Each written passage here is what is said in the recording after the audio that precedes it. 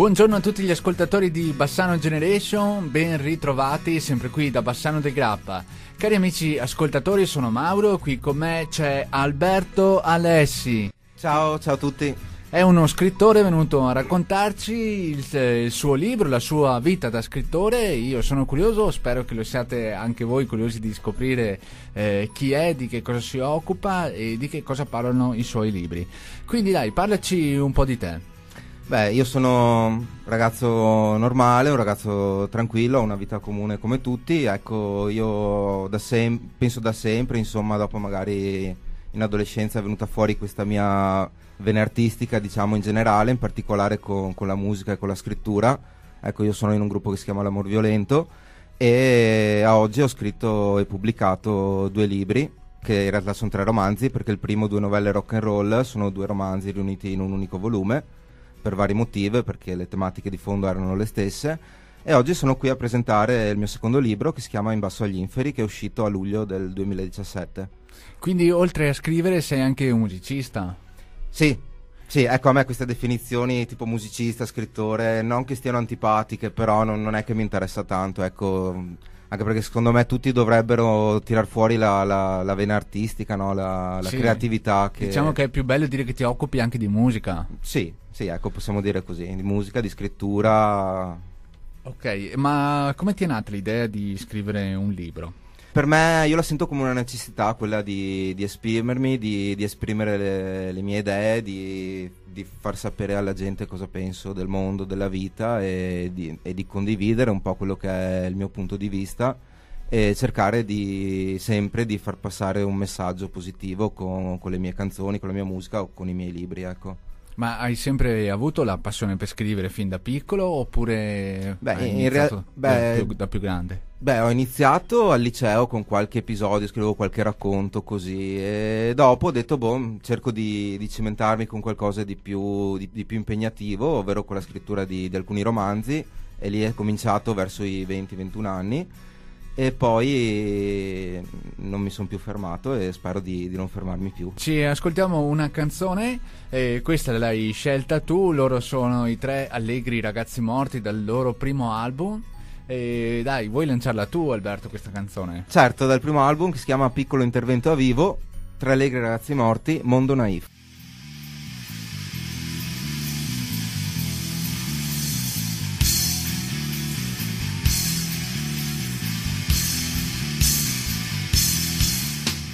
The Bassano Generation, cari amici ascoltatori, siamo qui sempre da Bassano del Grappa. Qui con me vi ricordo c'è Alberto Alessi, poi c'è anche eh, Riccardo Zambon che va a lui anche il mio saluto.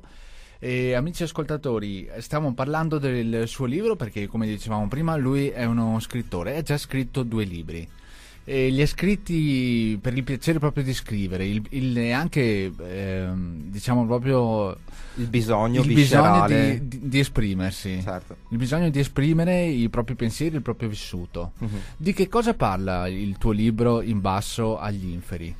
Sì, eh, beh, ha molteplici chiavi di lettura, ovviamente. La, la, trama è anche semplice, nel senso che, beh, allora è, si può dire che è ambientato nel futuro o comunque che parla di una realtà alternativa dove la, la situazione sociale, politica, economica del mondo intero è um, leggermente diversa da come è adesso, ovvero sono accentuate certe, certe criticità se non altro ne, nei continenti fuori dall'Europa, mentre l'Europa, per come l'ho immaginato io, per come ho scritto questo libro, eh, l'Europa vive appunto in pace, vive secondo i principi di uguaglianza, libertà, fratellanza e ha realizzato quelli che sono i principi anarchici, i principi libertari di, di, di, questa dottrina che ha messo le sue radici ormai da due secoli e che ancora no, non trova spazio e viene stroncata in ogni dove, insomma, perché la libertà fa paura, ecco, de, de, detta in modo proprio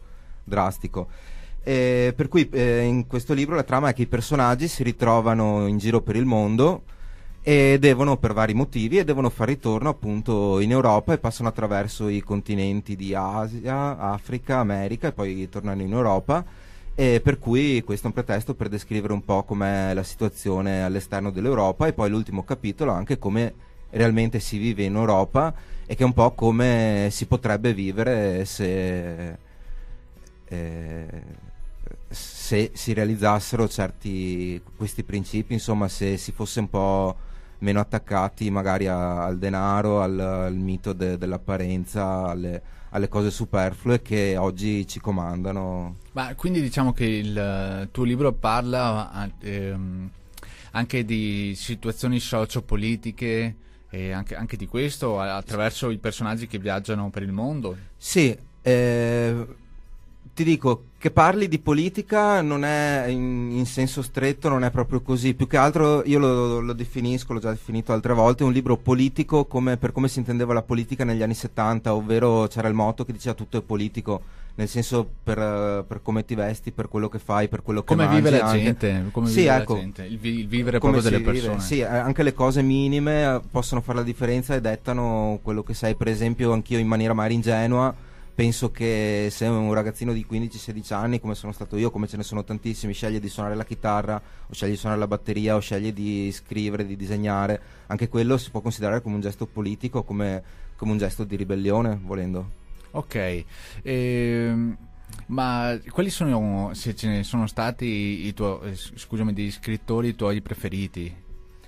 Beh, ne ho tanti. Io preferisco parlare magari di, di, libri in sé, che non tanto di scrittori preferiti. Comunque di scrittori, quelli che mi, che mi ispirano di più o comunque quelli che leggo più volentieri sono, beh, intanto Isabella Santa Croce, che è nostra contemporanea, David Foster Wallace, Italo Calvino, e Joseph Conrad, ne ho detti tanti, eh, cioè ne ho detti quattro e mi fermo qui perché potrei dirne Ma i tuoi libri tantissimi. preferiti? Sei uno che comunque legge tanto? Beh, io leggo ogni giorno, riesco a leggere mm, almeno mezz'ora, un'ora in media al giorno. Ecco, quando, quando ho tempo la sera sicuramente, poi anche di giorno, appena ho un po' di tempo o scrivo o leggo. Cioè, quello no, ogni giorno leggo. Ecco, ho una biblioteca a casa di sui 400 libri, Però. di cui vado vado fiero, insomma, ecco, se si può dire. Se... Ma i tuoi libri preferiti quali sono? Eh, non so se vuoi citare eh, qualcuno. Beh, visto che ho detto David, Fo- David, Foster Wallace, Infinite Jest, che è un libro che non è tanto conosciuto, però secondo me è veramente... Ecco, dire un capolavoro è una parola un po' abusata, però è un libro di 1200 oltre pagine, comprese le note, che però è un libro fantastico, cioè che mi ha preso proprio e mi ha ah, penso che abbia segnato anche un po' il mio, mio, modo di scrivere. Ecco, comunque ci sono tanti scrittori che nel momento in cui io scrivo so che mi sto, mi sto paragonando a loro pur cercando comunque di cercando appunto una voce, una voce mia di rimanere te stesso di seguire ecco. esatto il tuo percorso sì. ma nella tua scrittura ehm, e qual, di, soprattutto di questo libro qual è la parte che, che, ti piace di più? Insomma, c'è un capitolo oppure sono, c'è qualcosa nello specifico che, che, a te piace di più rispetto, rispetto al Beh, resto? Uh, per, quando ho iniziato a scrivere il libro ce l'avevo già tutto in testa. Cioè, a me quando io scrivo i libri, dopo ovvio che ci vogliono mesi per, per scrivere un libro, però comunque la, stro- la, storia in linea di massima ce l'ho già tutta in testa, per cui non saprei dirti se sono più legato a una parte che a un'altra. Ecco, il libro è composto di quattro capitoli, è molto equilibrato, più a intervallare questi capitoli ci sono delle parti di una lettera che Kira, il protagonista narratore, scrive rivolgendosi a tutti i cittadini de- della Terra per spiegare appunto come si vive in Europa a differenza di come invece si vive fuori dall'Europa. E per cui penso che ecco, in quelle parti lì, in questa lettera, che appunto è messa come intermezzi tra i vari capitoli per spezzare un po' la narrazione, ecco, Ecco, penso che lì ci sia proprio il mio pensiero, comunque parte de, di, di, quello che è il mio pensiero, perché poi eh, quella lettera è scritta proprio come, come un flusso di coscienza senza, senza schemi, e dunque lì mi rispecchio molto.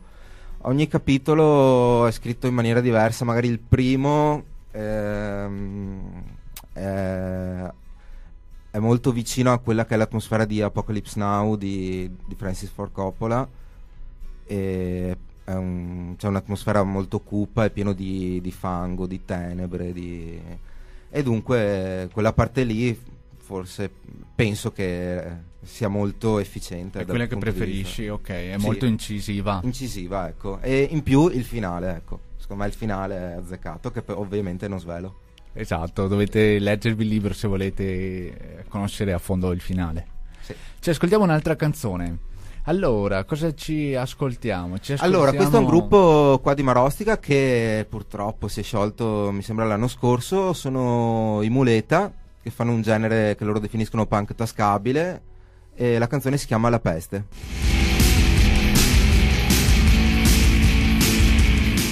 Bassano Generation, sempre qui ragazzi, da Bassano del Grappa. Eh, vi ricordo che siamo qui con Alberto Alessi e stiamo parlando del suo libro.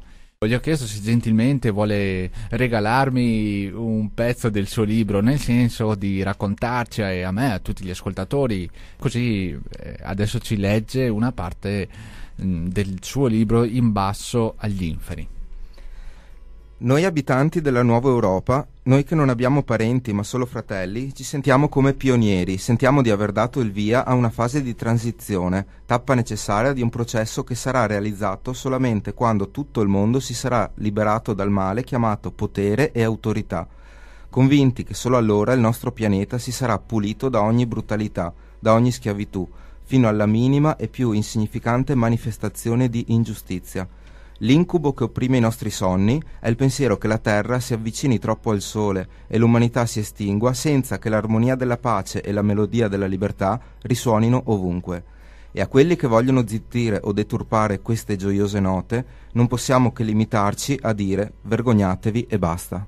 In che punto siamo, senza dover raccontare tutto il libro per chi eh, ovviamente sceglierà di leggere il tuo libro, ma se vuoi raccontiamo un po' questo, questo, pezzo che hai appena letto. Sì, come detto ho appena letto la, la, parte finale della lettera che il protagonista scrive rivolgendosi a tutti i cittadini della Terra per uh, cercare di smuovere un po' le, le coscienze, di, di risvegliare un po' gli animi, diciamo e per cercare di, di imprimere un, un, cambiamento in meglio, in positivo per, per tutta l'umanità e comunque allarga, allargando il discorso anche a tutti gli esseri viventi. Ecco. E, sì, questa, diciamo che questa lettera serve appunto per, per, spezzare un po' il ritmo della narrazione, perché per tutto il resto del libro, nei vari, nei vari capitoli che si chiamano tra l'altro Terra, Aria, Acqua, Fuoco, e sono, il, mio romanzo potrebbe essere classificato come un romanzo di avventura, di azione, mentre in realtà poi magari leggendolo in maniera non superficiale ci si accorge che è tutta una, una chiave metaforica, difatti il percorso che questi personaggi compiono è qualcosa di un percorso interiore che, che ogni uomo dovrebbe compiere e, o comunque dovrebbe, si trova costretto a, a compiere se vuole diciamo, guadagnare la libertà in un mondo che di libertà ne concede poca o niente. Qual è secondo te il consiglio che possiamo dare ai giovani che scelgono di scrivere un libro? Quali sono le qualità che tu hai riscontrato importanti per, per diventare scrittori?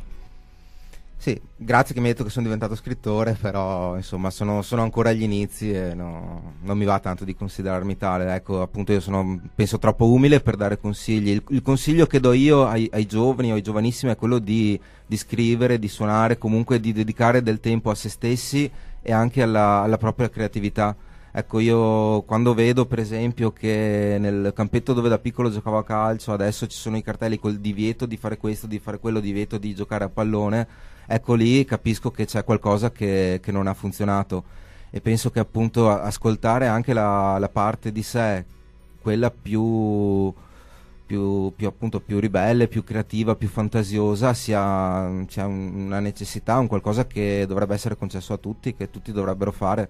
Ecco, per quanto riguarda i consigli tecnici della scrittura, penso che ognuno ha i suoi segreti o comunque ognuno ha i suoi metodi, per cui io potrei dire quelli che sono i miei, per esempio io scrivo, non riuscirei a scrivere a computer direttamente, prima, la prima stesura dei miei libri sono su, su carta, con preferibilmente la penna, ecco, e quando fuori è buio, senza la luce del sole, però queste cose valgono, valgono per me, ecco, questa è la prima stesura, poi ricopio computer, poi leggo, leggo, tolgo, cancello, aggiungo, rileggo ancora, rileggere tante volte è utile. E quando una, un giovane, una persona comunque eh, ha scritto il libro, cioè ce l'ha tra le mani e dice ok, adesso è il momento di cercare un editore, di cercare una, un aiuto, qualcuno che magari possa correggerlo oppure possa dare anche il proprio parere e, fino ad arrivare ad avere insomma un libro con una casa editrice. Quali sono secondo te i, i passaggi che possiamo consigliare a chi, a chi sceglie di fare questo percorso? Sì, beh, intanto farlo leggere agli amici,